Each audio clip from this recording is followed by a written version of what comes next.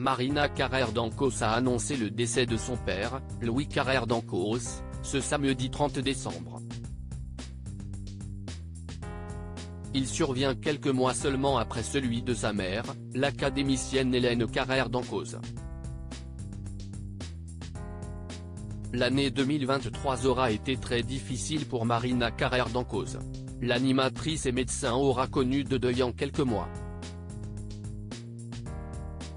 Elle a annoncé ce samedi 30 décembre le décès de son père dans la nuit.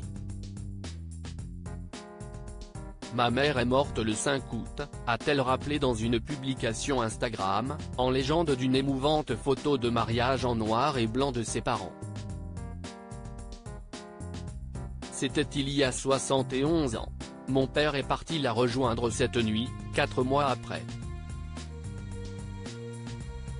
J'espère qu'il l'a retrouvée, a écrit Marina Carrère d'Ancause.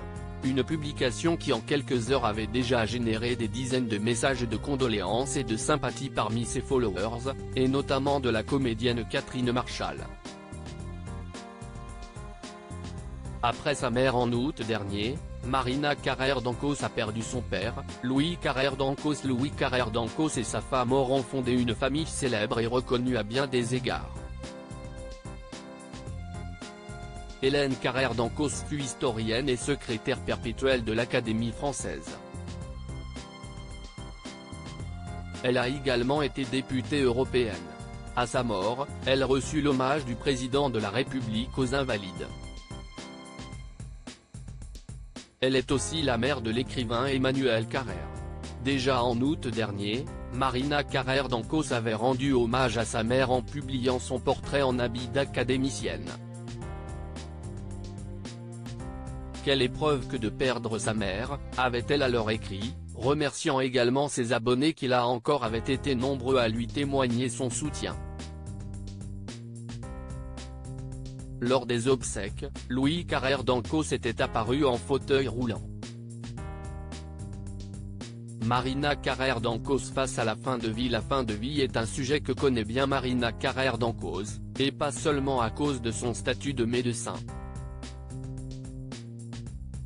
En septembre dernier, elle avait présenté le documentaire Fin de vie, pour que tu aies le choix, en posant les questions de société liées à ce débat à travers le cas de son compagnon. Celui-ci est atteint de la maladie de Charcot, aujourd'hui incurable.